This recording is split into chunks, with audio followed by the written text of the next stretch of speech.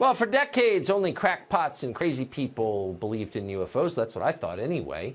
And then in recent years, it turns out that governments have been taking them seriously all along. Very seriously.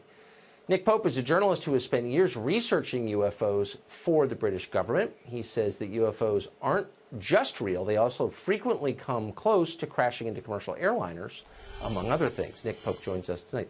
Nick, thank you very much for coming on. Um, so it's really not a question of do governments believe UFOs, UFOs are real? Yes, they do. The United States government does. The British government does. The question is, do they have any idea what they are, where they're from? No, we don't. We keep an open mind on it. We don't rule anything uh, off, you know, take nothing off the table with this. Our point really is that whatever these things turn out to be, there is a serious defense, national security, and air safety issue here. Yes. Well, so that's and, kind of the nub we, of it, and that is the that that's where my interest comes from. So why aren't governments encouraging the population to, as they say about terrorism, if you see something, say something, report sightings to the government so we can make sense of this potential threat? Well, they should be, and that's what we certainly did at the Ministry of Defence for many years. We took it very seriously. Our own pilots were seeing these things. We were having radar operators track them.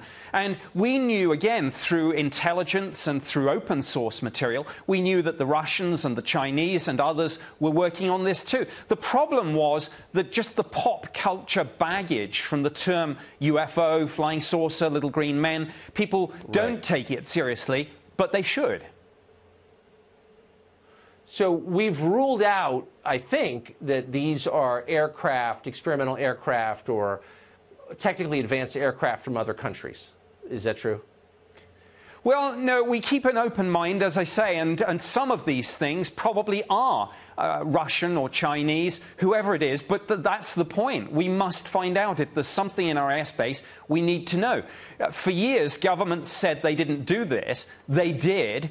I did it for the British government. I can only talk about this now because my old employers are gradually declassifying and releasing information about my old job. We now know, of course, the Pentagon had a program too. I think it will take congressional hearings to get to the bottom of all this, not just in, in uh, the United States, but all around the world. And I, would like to see those congressional hearings. Uh, commercial pilots have very often reported sighting objects in the air that seem to defy the laws of physics. To what extent are these objects a threat to commercial aviation, potentially? Well, certainly the British Ministry of Defence and our Civil Aviation Authority, which is the UK equivalent of your FAA, have dozens of cases in our files about near misses, some of which where pilots have had to take evasive action. And again, it comes back to the point I don't care, in one sense, what these things are, but when there is this flight safety uh, concern, when we have these near misses, we right. sure as heck should be doing more to find out. That's for sure. Nick Pope, really one of the most credible experts on this subject. I hope you will come back on our show. I appreciate it. Good to see you.